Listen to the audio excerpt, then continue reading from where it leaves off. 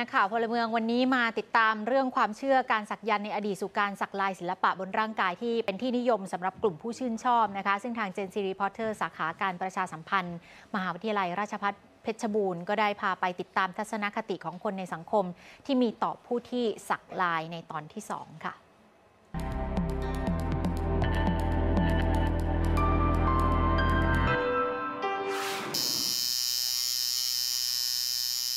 การสักยันต์ถือเป็นอีกหนึ่งความเชื่อที่อยู่คู่กับสังคมไทยมาตั้งแต่อดีต สักเพื่อเป็นเครื่องยึดเหนี่ยวทางจิตใจ ตลอดจนการบ่งบอกถึงสถานะบุคคล การสักยันต์หรือสักลายจะแบ่งออกเป็นสองประเภท สักลายนี่ก็หมายความว่าการสักเป็นเป็นลายต่างๆ สักยัน ยันนี่ก็จำแนกออกเป็นสองประเภท ก็คือยันที่สักด้วยอักขระอีกประเภทหนึ่งเป็นรูปภาพแล้วก็ลงอักขระสักสมัยโบราณนั้น ถือว่ามันเป็นความเชื่อมันมีความหมายป้องกันศัตรูป้องกันอาวุธ ป้องกันเหตุเพศภัยต่างๆ ปัจจุบัน การสักยันต์ค่อยๆ เปลี่ยนไปตามยุคสมัย จากความเชื่อสู่งานศิลปะที่ถูกถ่ายทอดลงบนร่างกาย โดยในบ้านเรายังพบว่ามีการแสดงความเห็น และมีทัศนคติต่อผู้สักอย่างหลากหลาย ทั้งมองว่าเป็นสิ่งที่สวยงาม รวมถึงทัศนคติเชิงลบในด้านอื่น เช่น เรื่องการประกอบอาชีพในสายงานต่างๆ สักไปทำไมเหรอ ถามว่าสักไปทำไมก็คือมันชอบ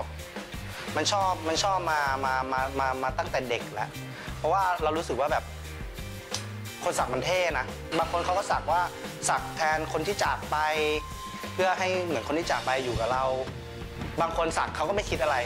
แต่บางคนสักอะมันก็จะมีความหมายของรูปภาพนั้นๆในสังคมปัจจุบันอะไรเงี้ยพี่ก็ว่ามันธรรมดา มันก็สวยดีมันก็ไม่มีอะไรกับงานกับอะไรอย่างเงี้ยแต่ถ้าเป็นงานอื่นอาจจะต้องใส่เสื้อแขนยาวหน่อยอะไรเงี้ย พี่จะรับทำงานไหมพี่ก็เห็นปึ๊บก็คุยกันก่อน เพราะเวลาเขามาเขาต้องมาคุยกับพี่สำหรับตรงนี้นะคะเป็นส่วนราชการการที่จะรับสมัครเข้ามาทำงาน แล้วพบว่าผู้เข้ามาสัมภาษณ์ มีรอยสักจะต้องดูเป็นแต่ละกรณีไป บางตำแหน่งอาจจะต้องเข้มงวด ไม่ให้มีรอยสักที่น่าเกลียดเกินไป ตรงนี้ก็ต้องดูรายละเอียดของรอยสักด้วย อยู่บริเวณไหนด้วย เขาทำนำทำงานตำแหน่งอะไรด้วย ตรงนี้หน้าที่ความรับผิดชอบของเขาก็จะพิจารณาไปค่ะที่มาสักกันเพราะว่าตามแฟชั่นแล้วก็ตามยุคสมัยด้วยครับเพราะว่ายุคสมัยนี้มันเป็นยุคสมัยแห่งความเปิดกว้างในสังคม แล้วก็ความคิดเห็นลูกค้าส่วนใหญ่ที่มาสักนะครับก็จะมีเป็นพวกวัยทำงานครับผมเป็นมาทำงาน แล้วก็รับราชการแล้ว คนที่สักนะครับก็ถ้าอย่างใน ตามสายตาพี่เนี่ย แต่ส่วนใหญ่แล้วอยู่ที่การทำตัวมากกว่า คุณทำตัวไม่ดีคุณจะพาการให้วงการตรงนี้มันจะดูแย่ ผมอยากให้สังคมเปลี่ยนการมองว่าคนที่มีรอยสักนั้นเป็นคนไม่ดี เพราะว่าการสักเนี่ยเราก็ต้องเข้าใจกันเลยว่ามันจะอยู่ติดตัวเราไปตลอดชีวิต แล้วมันสำคัญพอไหมที่รอยสักนี้จะอยู่ติดตัวเราไปตลอดชีวิต การสักถือว่าเป็นความชื่นชอบส่วนบุคคลสำหรับผู้ที่คิดจะสักต้องใช้ความระมัดระวัง ทั้งผลที่จะตามมาและเรื่องความปลอดภัย โดยปัจจุบัน ผู้ประกอบการที่จะเปิดร้านสักนั้น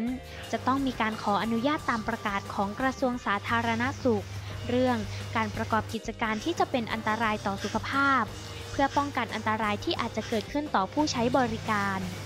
สาขาวิชาการประชาสัมพันธ์ มหาวิทยาลัยราชภัฏเพชรบูรณ์ รายงาน